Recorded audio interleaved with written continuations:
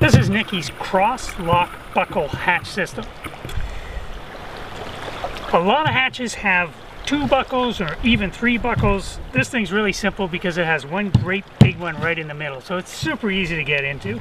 Squeeze the buckle, pops open, pop the hatch off. You're in. As you can see, the hatch cover itself is tethered against loss because it sucks when you lose your hatch cover. And if we look in here, you can see that this is all molded from one piece, and that's the clever bit.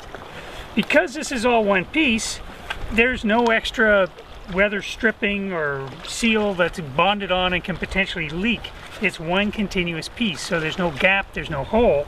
And as you can see, where this piece of material comes over the top here, it thins out and becomes quite flexible. And that's the seal.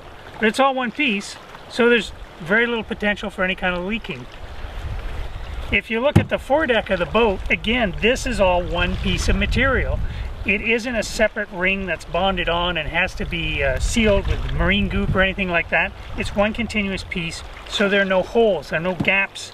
There's very little potential for leaking there as well. Deceptively simple, very, very smart. To reset the hatch, you simply pop it on top of the ring, seat it so that it's lined up, push down so that we get that good seal and buckle the big center buckle.